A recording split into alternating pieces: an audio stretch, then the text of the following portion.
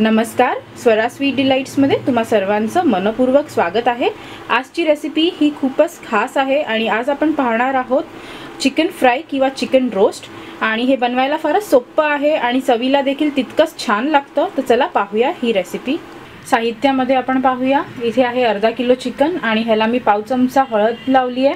आणि थोडंसं मीठ लावलं आहे आणि हे पाच मिनटासाठी आपण बाजूला ठेवलेलं चोळून बाकीच्या साहित्यामध्ये इथे आहे एक कांदा बारीक चिरून घेतला आहे त्यानंतर कढीपत्ते आहेत. इथे जवळजवळ आठ ते दहा पानं आहेत कढीपत्त्याची. त्यानंतर दोन ते तीन हिरव्या मिरच्या घेतल्या आहेत मी कापून. तुम्हाला जर कमी तिखट हवं असेल तर तुम्ही एक मिरची देखील घेऊ शकता. त्यानंतर इथे आहे पाव चमचा हळद. त्यानंतर चिमूटभर काळी मिरी पावडर. अर्धा चमचा आहे लाल मिरची पावडर. आणि मसाला आणि मिरची तुम्ही तुमच्या आवडीनुसार कमी जास्त करू शकता. त्यानंतर इथे आहे धणेपूड अर्धा चमचा आणि जिरेपूड अर्धा चमचा.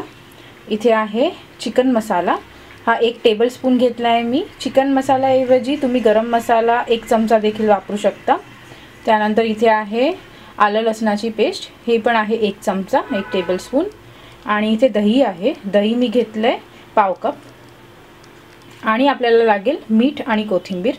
सगळ्यात पहिले आपण हे चिकन उकडून घेऊया. हे चिकनला आपण हळद आणि मीठ लावलं आहे आणि हे आता आपण कुकरमध्ये घालूया आणि दोन कप पाणी घालूया आणि एक शिटी आपण काढून हे शिजवून घेऊया. हे चिकन आपण उकडून तयार केलं आहे आणि ह्याचं जे पाणी आहे उकडलेलं ते आपण सूपसाठी किंवा रस्सा कढीसाठी तुम्ही वापरू शकता. इथे एक पॅन ठेवलं आहे मी आणि त्यात दोन टेबलस्पून तेल घातलं आहे त्यात आपण आता कढीपत्ता मिरची आणि कांदा घातला आहे आणि हे आपण चांगलं परतून घेऊया. हे आपण छान परतून घेतलं आहे सर्व आणि त्यात आता आपण हे आलं लसणाची पेस्ट घालूया. आता आपण हे सर्व मसाले त्यात घालूया. आपण हे सर्व सुके मसाले घातलेत आणि हे आपण आता एकदा परतून घेऊया. हे मिक्स केल्यावर ह्यात आपण हे उकडलेलं चिकन घालूया.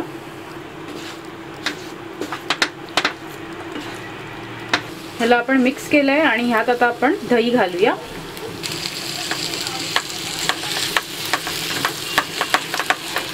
दही घालून आपण नीट मिक्स केलं आहे आणि त्यात आपण मीठ घालूया. ह्यात आता आपण थोडी कोथिंबीर घालूया आणि हे मिक्स करूया.